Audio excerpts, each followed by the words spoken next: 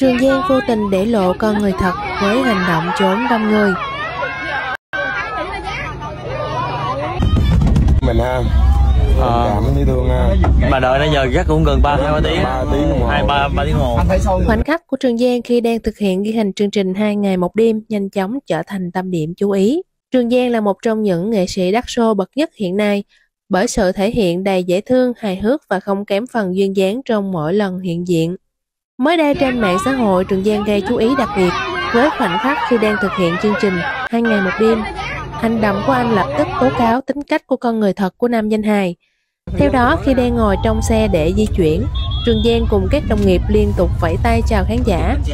Tuy nhiên, Mười khó bày tỏ sự lo lắng vì sự an toàn của mọi người khi bất chấp phải lấy xe ô tô của mình. Anh phải hô to nhắc nhở dù đang ngồi trong xe. Coi chừng cái bánh xe kìa bé.